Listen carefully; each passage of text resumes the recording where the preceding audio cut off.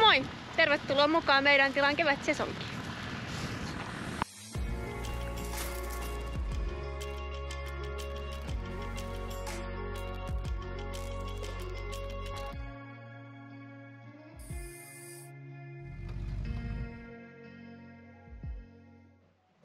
Kevätkylvöllä päästiin 24. päivä huhtikuuta.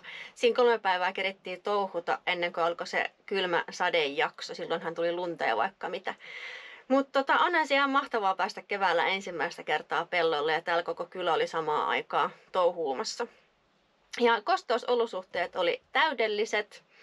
Ainut vaan, että maa oli todella kylmää, mutta tota, eikö se kylmä maa vaan hyvin rikotton siemenen itämislevon.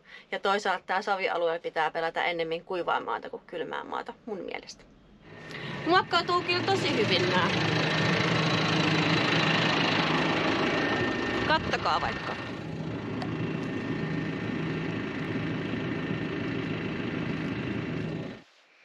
Kolmekymmentäviisi hehtaaria on kylvettä, nyt tää näyttää tältä.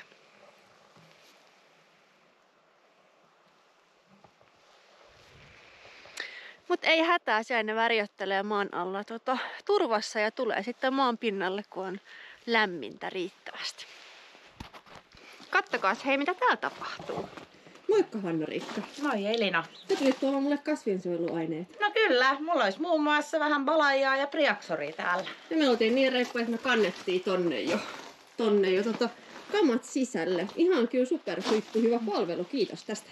Kiitos sinulle vaihdettiin muutama vuosi sitten äkeeseen tällaiset hanhenjalat. Ne on kyllä osoittautunut tosi hyväksi. Se mukavasti leikkaa poikki ei toitut kasvit sieltä. Niin kuin esimerkiksi saunakukat tai sitten noin keräjäkasvit, aluskasvit, mitä sinne on jäänyt, kun tuntuu, että se tavallinen terälappu vaan niin kuin väistää ja tänne kasvit väistää ne. Mutta tota, tää tietysti kerää jonkun verran olkea.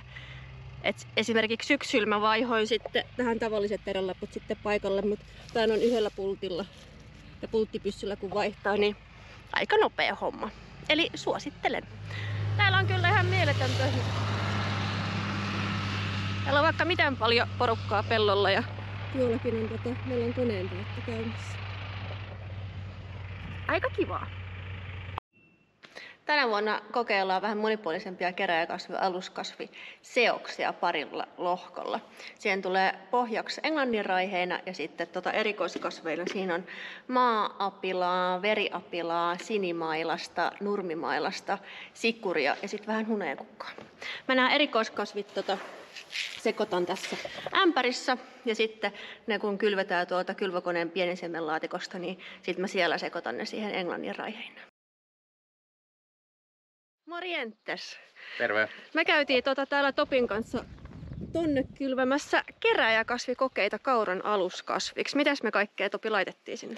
No mehän kylvettiin erilaisia seoksia löytyy. Ja tota, ihan yksittäislajeja muun muassa. Täältä löytyy ihan veriapilaa, valkoapilaa ja sikuria ja mansikka-apilaa. Ja... Se oli hauska. Kyllä, erilaisia apiloita ja ihan supertrendaavaa koiraheinääkin. Miksi on supertrendaava? Miksi se on tosi hyvä? No se tuntuu ulkomailla olevan nyt muodissa ja täytyyhän meidänkin sitä kokeilla, että miten se käyttäytyy keräjäkasvina. No niin, hyvä. Kiitos. Moikka. Täällä on ensimmäiset kylvöt jo kaksi lehtivaiheella. Mä just laskin, niin siinä oli 600 per neljä.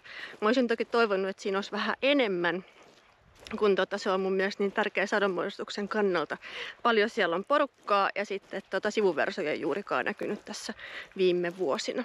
Mutta toi kylväsiemen on niin hirvittävän painavaa, niin sitten ei vaan saa tuolta kylväkoneesta enempää läpi.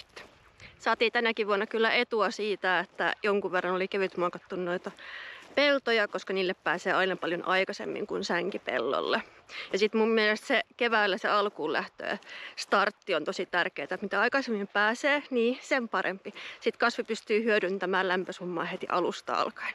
Ja toisaalta se helpottaa sitten vähän syksyä ja ehkä on vähän paremmat korjuolosuhteet.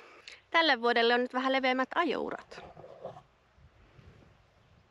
Tässä on rivin väli 15 senttiä Ja viime vuonna meni vain yhdet vantaat kiinni ajouran kohtaan, niin ei siinä 30 sentissä ihan mahtunut traktorilla liikkua kasvukaudella, mikä tarkoitti sitä, että puintiaikana sitten ajettiin ajourat vielä kertaalleen läpi, niin ei tarvinnut niitä vihreitä jyviä puida joukkoon, vaan ne jäi sitten peltoon.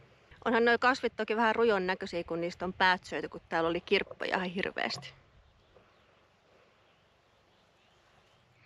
Mä lähdenkin tästä seuraavaksi ruiskuttamaan syysvehniä. Tulevassa jaksossa puhutaankin lisää kasvinsuojelusta. Moikka!